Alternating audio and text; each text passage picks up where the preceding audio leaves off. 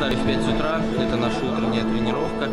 Сегодня мы поработали с Майком, он специально приехал из Голландии, показал нам свои системы тренировок. Огромное ему спасибо, мы отлично поработали, я показал, на что я способен.